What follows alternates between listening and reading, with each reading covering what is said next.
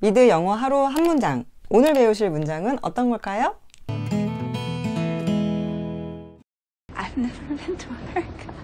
I've never been to America. I've never been to America. I've never been to America. I've never been to America. 난 미국에 가본 적이 없어. 미국에 가본 적이 한 번도 없는데? 이런 말이에요. I've never been to 뭐뭐. 뭐뭐 한 경험이 없다는 거예요. 미국에 가본 적이 없다. I've never been to America. I've never been to America.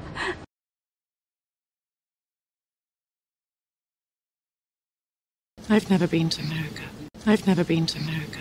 I've never been to America. I've never been to America. I've never been to America. I've never been to America. 난 미국에 가본 적이 없어요. I've never been to America. I've never been to America.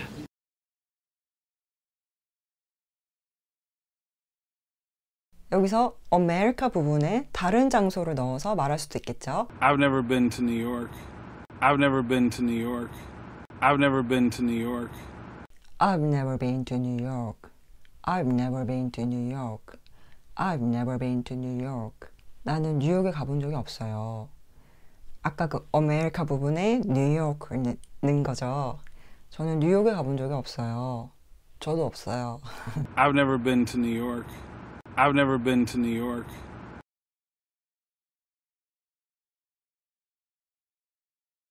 그런데 그 America나 뉴욕 부분에 다른 말을 넣을 수도 있어요. 이거 한번 들어보세요. I've never been to the movies. I've never been to the movies. I've never been to the movies. I never been to the movies. I never been to the movies. The movies가 사실 그 movie라는 거는 영화잖아요. 근데 여기서는 극장이라는 말이네요. 영화를 보러 극장에 가본 적이 없어요. 그러니까 너무 돈이 없어가지고 극장에 가본 적이 없대요. I've never been to the movies. I've never been to the movies.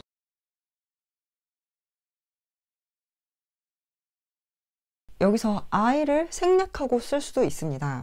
Never been to this place. Never been to this place. Never been to this place. Never been to this place. Never been to this place. 여기 와본 적이 없는데? Never been to this place. 여기서는 앞에 I를 생략을 하고 아까 그 장소 부분에 this place 이 장소 여기 이걸 넣은 거죠. Never been to this place. Never been to this place.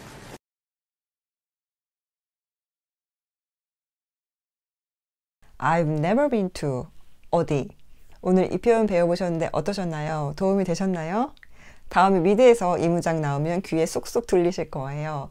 큰 소리로 따라 하시면서 입에 붙여보세요. 다음 영상에서 또 만나요. 감사합니다.